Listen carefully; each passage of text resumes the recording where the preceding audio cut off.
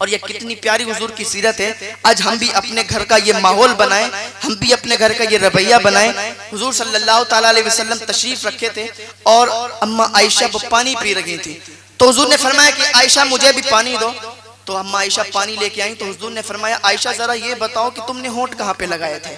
تم نے ہونٹ کہاں پہ لگائے تھے؟ میں بھی وہیں سے ہونٹ لگا کے پانی پینا چاہتا ہوں۔ اب ذرا یہ بتائیں کہ اگر ہم لوگ اپنے گھر کا ماحول ایسا کریں، اپنی بیویوں کے ساتھ ایسا رویہ کریں تو گھر جنت کا ٹکڑا بنے گا یا نہیں بنے گا اگر ہم اپنے گھر کا ماحول ایسا کریں گے تو ہمارا گھر بھی جنت کا ٹکڑا بنتا ہوا نظر آئے گا۔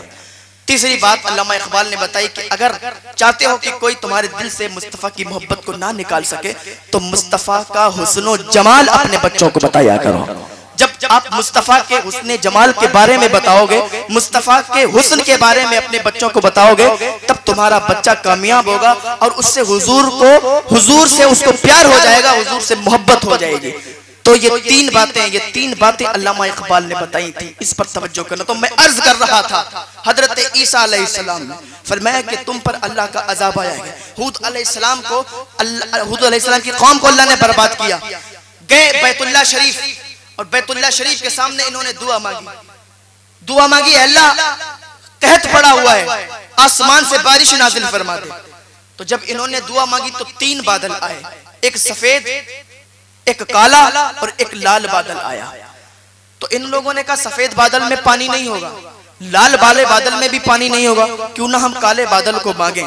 تو ان لوگوں نے کہا، مجھے کالا بادل چاہیے۔ تو وہ کالا بادل سر پہ سایہ بنتے ہوئے ان کی اسی بستی میں آ گیا جہاں پر یہ لوگ رہتے تھے۔ اور جب وہ بستی میں بادل آیا، تو اللہ نے اس فرشتے کو حکم دیا کہ اس میں سراغ کر دو، اس میں چھید کر دو بادل میں۔ تو فرشتے نے عرض کیا، مولا، اس میں کتنا سراغ کروں؟ کیا اس میں بیل کے نتنے کے برابر سراغ کر دوں؟ اللہ نے فرمایا اگر اتنا سراغ کرو گے تو پوری کائنات تباہ ہو جائے گی۔ پوری کائنات تباہ و برباد ہو جائے گی ایسی ہوا اس کے اندر سے نکلے گی۔ تو عرض کیا مولا پھر کتنا کروں؟ کہ انگوٹھی کے چھید کے برابر۔ اس میں سراغ کر دو تاکہ یہ بستی تباہ ہو جائے برباد ہو جائے۔ تو فرشتے نے اتنا ہی چھید کیا اس میں سے ایسی ہوا نکلی ایسی ہوا جاری ہوئی کہ پوری کی پوری بستی تباہ ہو گئی پوری کی بستی برباد ہو گئی تو اللہ کا عذاب آتا ہے۔ آج ہم پر عذاب نہیں، اس لیے نہیں آتا کیونکہ ہمارے اوپر محمد مصطفیٰ صلی اللہ علیہ وسلم کی دعائیں ہیں۔ اور ہم عیش سے گزار رہے ہیں اپنی زندگی کو۔ ہم عیش سے کاٹ رہے ہیں اپنی زندگی کو۔ توبہ کریں گناہوں سے۔ اللہ فرماتا ہے، میرا بندہ جب بھی مجھ سے توبہ کرتا ہے، سچے دل سے توبہ کرے۔ اللہ فرماتا ہے، میرے بندے آت تو سہی میں تیری توبہ کو ایسے ہی معاف فرما دوں گا کہ جیسے تو نے کبھی گناہ ہی نہیں کیے۔ ہیں اللہ تو ایسا توبہ معاف فرمانے والا ہے۔ اللہ تو ایسا معاف فرماتا ہے۔ آؤ آپ کو بتائیں، ہم دنیا میں آئے کس لیے ہیں؟ میری گفتگو ایسے ہی ہوتی ہے۔ اگر سمجھ میں آئے تو ایکسیپٹ کر لینا، عمل کر لینا۔ آج یہاں عمل کرو گے تو کل قبر کے اندر مسکراؤ گے۔ حضور سے ملاقات ہوگی اور جب آپ کے چہرے پر داڑھی دیکھیں گے تو آپ بھی مسکراؤ گے، حضور بھی مسکرائیں گے۔ آج ہم اپنے چہروں سے داڑھی ایسے صاف کر دیتے ہیں اور گندی نالیوں میں بہاتے ہیں۔ یہ مصطفیٰ کی سنت ہے۔ یہ حضور کی سنت ہے۔ اگر ہم ہاتھ اٹھوائیں کہ کتنے لوگ مصطفیٰ کے نام پر جان دے سکتے ہیں تو ایک ایک ہاتھ اٹھ جائے گا۔ جان دے سکتے ہیں لیکن سنت کو نہیں زندہ کر سکتے۔ کاش ہم سمجھ جائیں، حضور کے نام پر جان بھی دے سکتے ہیں، حضور کی سنت کو زندہ بھی کر سکتے ہیں۔ حضور کی سنت کو اپنا بھی سکتے ہیں۔ آج ہم فلمی ایکٹر کو، فلمی ایکٹر کو فالو کرتے ہیں، اپنی داڑھی بڑھا لیتے ہیں، اپنے بال بڑھا لیتے ہیں۔ کاش کہ ہم مدینے والے کو فالو کریں۔ دنیا دار کو فالو کرے گے تو کامیاب نہیں ہوگے۔ اگر مدینے کے تاجدار کو فالو کرے گے تم کامیاب ہوگے۔ اگر دنیا دار کو فالو کرو گے حضور سے کسی نے پوچھا، یا رسول اللہ صلی اللہ علیہ وسلم، اگر ہم کسی سے دنیا میں محبت کریں گے تو پھر ہم کیا ہمارے ساتھ ہوگا؟ حضور فرماتے ہیں، جس سے تم دنیا میں محبت کرو گے، کل میدان محشر میں وہ تمہارے ساتھ ہوگا۔ تو اگر آج ہم فلمی ایکٹر سے محبت کریں گے، تو انہی کے ساتھ ہوں گے۔ لیکن اگر مدینے والے سے محبت کریں گے، اللہ والوں سے محبت کریں گے، تو ان کے ساتھ میدان محشر میں ہوں گے اور وہ ہماری بخشش کروائیں گے۔ یہ ہمیں جہنم میں لے جائیں گے۔ اللہ والے ہماری بخشش کروائیں گے۔ تو اللہ کی بارگاہ میں آئیں، توبہ کریں۔ اللہ تعالیٰ ایک توبہ سے معاف فرمانے والا ہے۔ ایک توبہ سے معاف فرما دے گا۔ آئیے آپ کو بتائیں کہ دنیا میں ہم آئے کس لیے؟ دنیا میں ہم کس لیے رہ رہے ہیں؟ اور میں آپ کو مثال دے کے سمجھانا چاہتا ہوں۔ ایک بادشاہ تھا، اس نے اپنے تین وزیروں کو ایک باغ میں ایک ایک جھولا لے کے بھیجا۔ بھیجا، کہا، تم سب اس میں اچھے اچھے پھل توڑ کے لاؤ۔ تو تینوں چلے گئے باغ کے اندر۔ اور تینوں تینوں جھولوں میں پھل لائے۔ ایک نے تو بہت بڑھیا پھل توڑے، اس نے جھولے میں رکھے۔ ایک نے آدھے کچے توڑے، آدھے پکے توڑے۔ سوچا، بادشاہ ہے یار، پوچھے گا تو نہیں۔ ایسے ہی مگائے ہوں گے، ایسے ہی کہا ہوگا۔ بادشاہ کو کیا ضرورت ہے؟ اس کے محل میں کوئی خزانوں کی کمی ہے، کوئی پھل فروٹ کی کمی ہے، اس نے ہم سے باغ سے لانے کے لیے بولا ہے۔ تو ایک تھا، اس نے بالکل کچھ بھی نہیں توڑا۔ گھاس بھس بھری کاٹی اور اس کے اندر رکھ لی۔ اب تینوں بادشاہ کے دربار میں آئے۔ بادشاہ نے ان سے کچھ سوال نہیں کیا۔ بادشاہ نے کہا، ان کو قید خانے میں ڈال دیا جائے۔ ان کو جیل کے اندر ڈال دیا جائے۔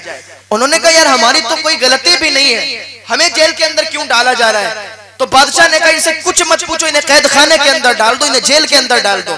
جیسے ہی وہ ایک ایک الگ الگ قید خانے کے اندر ڈالے گئے، تو کہا، ایک مہینہ ان کو باہر نہیں نکالا جائے گا۔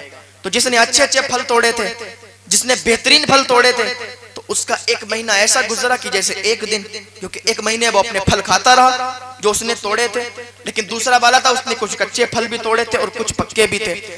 تو اس کو ایک مہینہ بڑا سختی سے گزرا۔ جو پکے پکے پھل تھے اس نے کھا لیے جو کچے تھے وہ نہیں کھا سکا۔ اب ایسا بھوک کی حالت میں ایک مہینہ تو نہیں گزار سکا لیکن گزر گیا لیکن ایسے ہی۔ بہت شدت کی بھوکوں سے۔ لیکن جو تیسرا والا تھا نا، اس نے کچھ توڑا ہی نہیں تھا تو وہ کھاتا کیا۔ اور بادشاہ نے کہا تھا، ان کو کوئی پھل نہیں دیا جائے گا، کوئی کھانا نہیں دیا جائے گا۔ تو اس نے گھاس پھوس بھری تھی، تین دن زندہ رہا اور تین دن کے بعد مر گیا۔ جب تین دن کے بعد مر گیا تو بادشاہ نے کہا، ایک مہینے کے بعد کہ ان کو بلا کے لاؤ۔ تو آئے سامنے دو، کیونکہ ایک مر گیا تھا۔ جب دو آئے تو بادشاہ نے کہا، سنو، ان کو میں نے اس لیے ڈالا ہے میں دیکھ رہا تھا کہ دیکھیں یہ کیا کریں گے؟ ان کو میں نے اختیار دے دیا، تین جھولے دیے میں نے کہا پکے پکے پھل لاؤ۔ تو اللہ تعالیٰ نے ہمیں اس لیے ہی بھیجا ہے اس دنیا کے اندر کہ جاؤ، تم ہماری عبادت کرو۔ ہم اللہ کی عبادت کرنے کے لیے آئے ہیں۔ جو بالکل گناہ نہیں کرتے، جو نیک عمل کرتے ہیں، وہ جنت میں جائیں گے۔ اور جنہوں نے گناہ بھی کیا، پھر اللہ کی بارگاہ میں توبہ کر لی، گناہ کیا، نیک عمل بھی کیا، دونوں کام کیے۔ تو ان کا ایسا ہی ہوگا، عذاب بھی دیا جائے گا، لیکن بعد میں جنت بھی بھیجا جائے گا۔ لیکن جس نے ایک بھی نیکی ہی نہیں کی ہے، جس نے کوئی نیک عمل کیا ہی نہیں ہے، جس نے کبھی نماز پڑھی ہی نہیں ہے، جس نے کبھی روزہ رکھا ہی نہیں ہے، تو پھر وہ اللہ کی بارگاہ میں کیسے منہ دکھائے گا؟ وہ تو پھر جہنم میں جائے گا۔ کیسے اللہ کی بارگاہ میں کیسے کھڑا ہوگا؟ کیسے اس کو حساب دے گا؟ کیسے اس کو جواب دے گا؟ تو آئے میرے پیارو اللہ کی بارگاہ میں۔ اللہ فرماتا ایک توبہ سے ماں فرما، ایک ماں ہوتی ہے نا، وہ کتنا پیار کرتی ہے اپنے بچوں سے۔ تو اللہ ستر ماؤں سے زیادہ پیار کرتا ہے۔ کیا تم جب الحزد کے ان بچوں سے نہیں ڈرتے؟ آج اگر ہم گناہ کر کے اللہ کی بارگاہ میں جائیں گے قبر کے اندر جائیں گے، وہ دو غز کی زمین ہے، وہ اتنی چھوٹی قبر ہے، ہمارے اگر گناہ ہوں گے تو وہ اور چھوٹی ہو جائے گی۔ اس کے اندر سانپ اور بچھو لائے جائیں گے۔ آج ہم دنیا کے سانپ اور بچھووں سے ڈر جاتے ہیں، تو قبر کے اندر کے سانپ اور بچھو ہم ان کے سامنے کیسے کھڑے ہوں گے؟ ایک بند کمرے میں ہم بیٹھے ہوں، اوپر سے چھپکلی گر جائے، سانپ گر جائے، تو ہم لوگ کمرے سے باہر نکل جاتے ہیں۔ لیکن وہ چھوٹی سی قبر کے اندر جب سانپ اور بچھو ڈنک ماریں گے تو پھر کہاں جائیں گے؟ پھر کیسے ہم چلائیں گے اور پھر کون ہمیں بچانے آئے گا؟ تو ذرا یاد کریں۔ صوفیہ لکھتے ہیں، علماء لکھتے ہیں کہ قبر کے اندر جو بچھو آئے گا نا، اور جب الحزن ایک غم کا کنواں ہے۔ جس کے اندر بچھو ہے، اس کے ستر منہ اور ستر ڈنک ہیں۔ اور جب وہ مارتا ہے تو ستر سال تک اس کا زہر بدن میں رہتا ہے، شریر میں رہتا ہے ستر سال تک۔ اب ذرا سوچے کہ کیسے ہم ان کے سامنے جائیں گے اور کیسے ہم برداشت کریں گے۔ اللہ کی بارگاہ میں آئیں یار. اللہ معاف فرما دے گا. آخری بات آپ کو کہتا ہوں، کیونکہ موسم بھی تھوڑا ایسا ہی ہے اور میں تھکا ہوا بھی بہت ہوں۔